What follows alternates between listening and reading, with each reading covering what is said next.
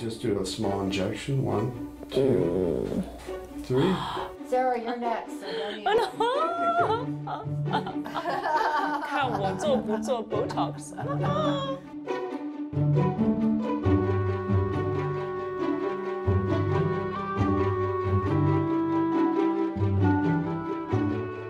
Christine, hi, good you? to see you. Welcome to LA. Thank you. Did you meet Dr. Hopp? No, not yet, Oh, and I okay. cannot wait to. I know. so I can't him. wait for you to meet him too. Hello. Hi, Sara. Dr. Hopp. Good to Pleasure. see Welcome to you. Youthful MD. Hello, Christine. Hi. So good to see you. Welcome to Youthful MD. Thank you. So, what are you getting done today? well, you need to tell me. I want to do these lines here, Uh, those but I know lines. that yeah, because that's like So we can use a tiny bit of Botox anytime you have an active wrinkle, such as when you purse your lips. or Right. the- they call them the smoker's line sometimes. We can use Botox to relax the muscle across. Mm. Yeah. it. The same around your eyes. I noticed that when you were smiling, beautiful smile by the way.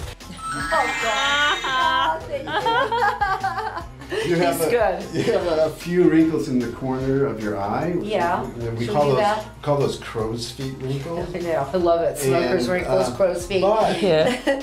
but again, they're created by the muscle contracting and the skin's a Mm, yeah, thin. yeah, so if right. we relax just that area of the muscle, the wrinkle will go away. Raise your eyebrows for me. Well, your your Botox I'm is still still okay, working yeah. quite well there. You have, uh, Wait, wh- why God. raise eyebrows? How can you tell? Well, um, so on Sara, when you lift your eyebrows, you create a little bit of wrinkling up yeah. there. But this is what we call an Academy Award forehead. Oscar, what, Yeah, this is what all the presenters as well as the recipients, that's how they want their foreheads. 呃演员都是有一个我们叫做奥斯卡的额头，就是不动的，it doesn't move。 yeah, right. Perfectly smooth. perfectly 完美华 Whether 丽 they're,。whether they're presenting or they're accepting, they still want a very smooth And forehead. if they lose and crying, it's still smooth. They still look, they still look good. you look good no matter what. Second yeah? place looks great too. But no, thank goodness. Today, I, you can see the zone right here where the wrinkle is, and we're going to just stretch the skin out a little Okay. bit, and we're going to inject a little Botox. Now, so what we're going to do is we're going to put on a little numbing cream so it Okay. doesn't hurt whatsoever, and we'll let that take effect while I get the Botox, and we'll, we'll do the injection. All right. Ah, needles are so icky. Itself isn't going to take effect for 24 to 48 hours. Let's put a little, bo- a little bit of the numbing cream on.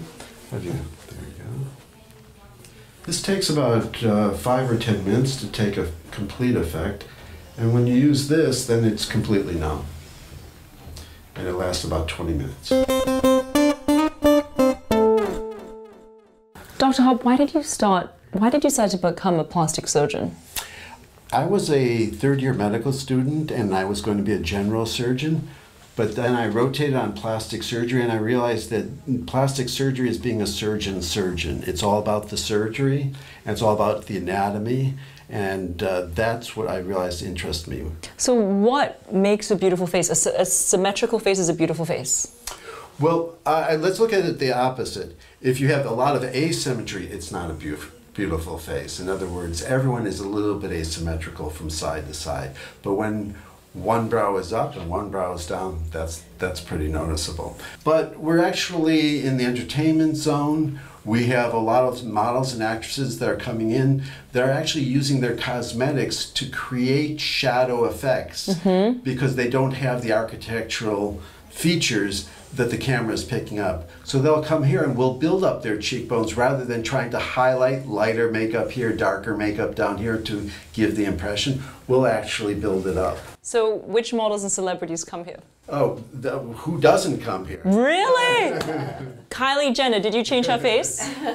Kylie's a wonderful person, but I can't talk about any per, any, any patients. But I heard that some ce- celebs are your patients We had three presenters and two recipients in the Academy Awards of this year. of this year. But you're gonna have to guess. Okay, just tell us which category. Uh, I, I forgot Okay. About one third of our patients are men also. 三分之一的客户原来是男士，Really? So what are men getting Men are insecure getting about? their, their Oh, forehead everything. lines done, their frown lines done. Sometimes, believe it or not, we can make architectural changes of the nose even. If there's sort of a, a hook coming down, we can fill it out to make it straight. So what are the what are the top three things that women come to you for? Is it is it the crow's feet? Is it the nose bridge? Is it the masseter muscle? What are the top three things?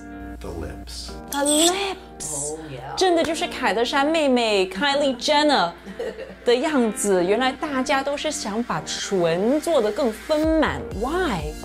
Oh, they want their lips to be bigger and beautiful and luscious and kissable. That's why Kylie Jenner is the youngest self-made billionaire because women want to get their lips Yeah. plumper. Bigger, fuller, luscious. And and how many is that Botox? What oh filler? Filler. And how many injections does that require? What is the cost? Usually it's one syringe of filler. We'll do the upper and lower lip. Sometimes we go to two. And the cost is about $700 per syringe. 七百美元，让你的唇更大。What's the second thing? Second thing is the wrinkles of these two areas. And that's Botox to reduce those wrinkles. Third one is the wrinkles here. Next is the nasolabial folds. Next, we want to build up the cheeks. We want to take down the fullness here, thin the area here. And we can even work on some of the lines of the neck with, with Botox. And how much is the forehead? Forehead is runs about $400, How much are the crow's feet? uh, $275. How much is the plumping of the cheeks? It's about 800 to $1,000. How much is lifting? Lifting, it's around $500. And how much is the nasal? They're about $700. 名媛的生活太贵了，我付不起，我做不了。 But it lasts a long time. You only have to do it twice a year, maybe. 一年两次而已，也许可以付得起。 It's just a little bit more expensive than some makeup. That's true，就是比化妆品贵一点点而已，真的哎。 Interesting. That is a really good perspective. Now, we, we also have, uh, unique to our, our spa here at Youthful MD, is we offer a Botox subscription. What that means is for $139 per month, you can have unlimited Botox. so it's almost like leasing a car.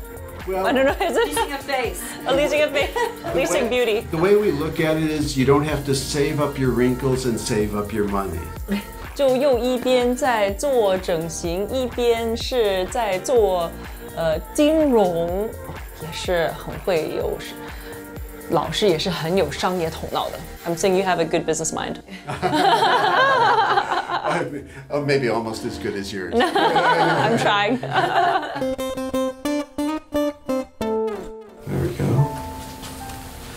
The same on this side. Thank you. Between my fingers here. Yeah. And we just do a small injection. One, two, three. Christine, do you feel anything? No. Oh! I don't feel anything. And we're going to just wow. make sure that she doesn't get any swelling or bruising just by applying a little cold roller. One shot there. One shot there. One shot there. If we wanted to, we could actually make this brow Yeah, look please like do that. that.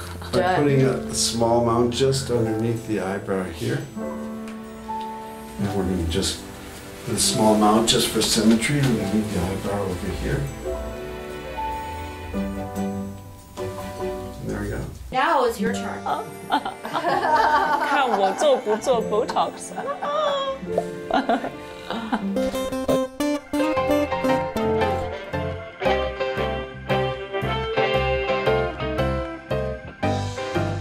Do you guys think I need to get anything done? What is the most beautiful face? You know, the most beautiful face can be different in person than photographically, what you see on, on in the movies and in print ads. But uh, typically the features are those sculpted sort of features that we create or accentuate that look good on camera. Have you seen any of the Korean beauty pageants? I haven't seen. Let me show you，嘿嘿嘿，我拿了韩国的选美的照片给老师看一下，他觉得这些脸怎么样？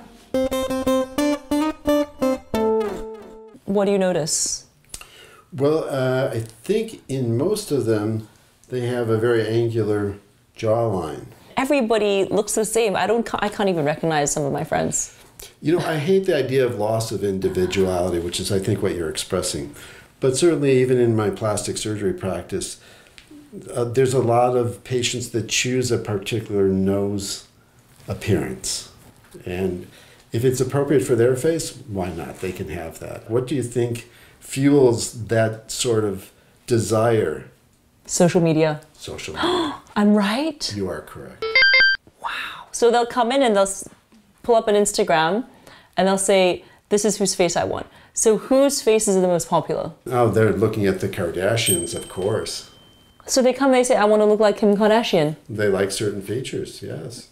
Wow. And then who are your Chinese clients uh, coming in with, you know, as role models? You know what? Uh, there's a, a couple of actresses that we have here in the United States that, uh, like in Crazy Rich Asians, that they point to, to, to the, the, the girlfriend, the sister, the mother, even. The sister is beautiful. They're all beautiful. That yeah. Hmm. And uh, what about Chinese actors and actresses? Do they come in with faces of chi- of their Chinese celebs? Actors and actresses come in knowing what they want. Mm-hmm. They know what's going to look at them. Maybe it's because they've had some type of makeup that accentuates the feature as if they had the feature that they want. And so they're used to looking at their face and knowing what's going to look good on them. So we talked about the Asian face, we talked about, you know, the standard beautiful face, the faces people want. What about my face? How can we improve my face? Oh, so let's have a little fun with your face. Um, let me get a marking pencil and I'll show you what we can do for you. All right. Okay. 好紧张哦，老师要说我的脸有啥问题。All right, so Sara, uh, there's not much anti-aging to do for you. Let Uh, me, This is the beauty of being Asian. we don't we don't age. Uh, let me have you raise your eyebrows. Okay. Oh, well, that's very unusual. I've never seen anyone do that. That's a first for me. Which eyebrow do you want me to raise? That's a unique talent. Sometimes we'll put some Botox up here as a sort of a smoothing anti-aging effect. 奥斯卡额头。 When you raise your eyebrows, nothing will move up here except your eyebrows. That's all. Okay? Sometimes give me a big smile. Well, you don't have any wrinkles, but if you had some wrinkles here, we would put some Botox here for, for anti-aging. 还好没有皱纹。 Can you frown for me? Oh, yes, we have to get rid of those frown lines. Y- You know, I used to have an issue when I was younger where I would frown all the time, and my parents thought I needed glasses. But was it about seeing or feeling? And then I had no problem seeing; it was an emotional thing. So a little bit of Botox right in this area right here. So traditionally as an anti-aging, we will go across the forehead and put Botox here and it will relax the muscles and you won't have any wrinkles when you get older. And what will happen is it will relax the muscles up here so that you'll still be able to move your eyebrows, lift your eyebrows like that, but the upper part of your forehead will be completely relaxed without wrinkles. The other anti-aging places that we traditionally do that is Botox is placed around the eyes to prevent those crow's feet or smile lines. And sometimes we'll put some, some Botox even in the upper lip to prevent those little wrinkles here and here. Specific to the Asian face is instead of just the wrinkle reduction, we will reduce the fullness of this muscle right here, what's called the masseter muscle. Are you able to squeeze down on your on your teeth in the back, the molars, and mm-hmm. make this pop out? Can you do that? Can you squeeze really hard? Yeah. So when you squeeze on your molars, it pops out here, mm-hmm. and we can prevent that from happening and also create a little more of a hollow by doing a, a number of injections right here, here, here, here, and here. And that's just with Botox that relaxes the bulge of that muscle. another area is to take away fat right here with an injectable called Kybella. And when you do that, you're softening this, bringing it in, bringing this in, and then we bring, we pull or put in filler out here in the cheek area to build up the cheek. So the goal is to build this up, thin this out, and what do you, what's the result? A nice angular sort of appearance rather than taking weight, rather than the fullness that you might have. Uh, last but not least, we have some filler to go right here. Yeah, and so that's what I need. A little bit. You're lucky to have some bridge to your nose, and sometimes we put some right at the very tip of the nose to give it a little more projection rather than the roundness. How do you think we're doing? How do you? Does this appeal to you, or is it a little, a little bit uh, uh, too exciting?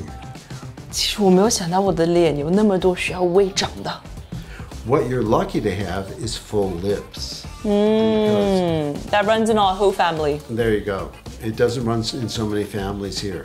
But you know, I used to be teased for my lips when I was younger because I have full lips. So classmates would be like, oh, Sara has fat lips. And I'd be like, what? I don't think my lips are fat. They, I love my lips. They used to tease Angelina Jolie the same way. But are her lips real? Yeah, they are. They totally. If you look at her high school yearbook, she has very full lips. There. Angelina Jolie 其实我，她就是我的女神。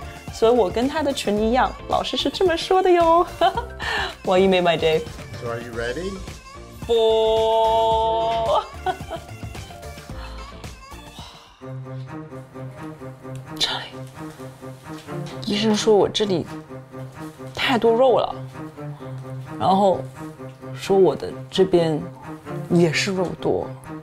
他说我这里如果这样，就会有皱纹，然后这边如果我笑，也有可能未来会有，怎么办呢？哎，老师回来了。Oh my god, oh my god, oh my god, oh my god, needles are so scary. We're not really gonna do this right. Oh, I got it, got it, got it, got it. 做不了，做不了，做不了. Cut, cut. I can't, I can't. Doctor, I can't go through with Botox. My parents will kill me. At least not on camera. Don't forget to like, comment, and subscribe. I'll be posting a new video each week with tips and tricks that I think will help all of us lead a better life.